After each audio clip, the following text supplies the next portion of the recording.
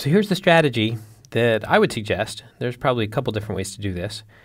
We could take the uh, the original graph that we know there is some length L path, simple path from u to v, and what we can do is for each edge in the graph say, well, what if we delete that edge? Is there still a path? And if the answer is yes, then we just leave it deleted. But if the answer is no, that we've now actually broken the path from, uh, or a path, or the the last path from u to v of length at least L in G, then we, we need to leave it in there. We keep repeating this in, uh, until all the edges have been, been considered, and all that's left at the end will be the simple path. Why? Because if there's any, any edges in there that's not on the simple path, then we can delete it, and there still is a simple path. Uh, and certainly we can't delete any of the ones on that simple path and still have it work. So we, what's left is exactly what we need.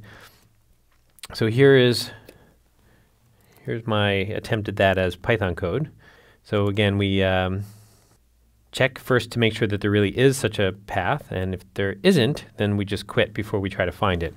But if there is, so somewhere in there the path exists, what we're going to do is run through all the edges. So node 1 in G, look at all the neighbors, look at node 2, which is a neighbor of node 1. So now node 1, node 2 is, is an edge in the graph, and we're going to break the link.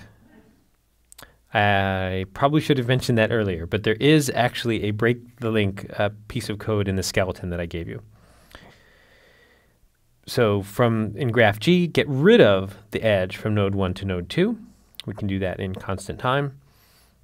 And now we ask, is it the case that there's still a long and simple decision, a long and simple path? We ask for the decision, is there a long and simple path in G from U to V of length L?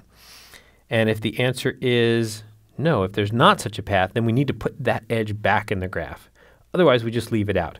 We repeat this for all the nodes, all the edges, and then, and then we're basically done. Uh, all that's left in G is exactly the simple path, and now we have to read it out. And it's a little bit messier than, than I thought it would be, but it's definitely doable.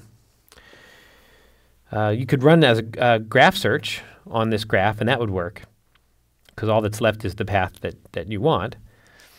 But um, another way to do it that's more specific to this case is we start off building our path from U.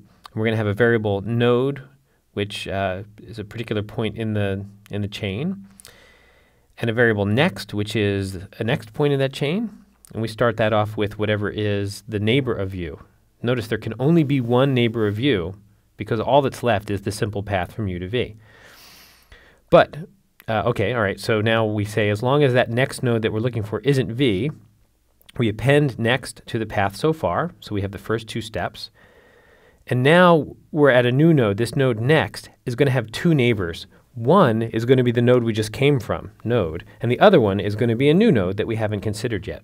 So just to figure out which one it is, what I did is I just pulled the two of them off. I said let next next 0 be one of those neighbors and next next 1 be the other, if next next 0 is the node we just came from, then we're going to move one step along the chain. Uh, node gets next, and next gets next next 1, the one that we haven't visited. And otherwise, next gets next next 0, the one we haven't visited. Uh, when that loop is all through, then next is v, the very last step on the path, and we just add that into our path and return it.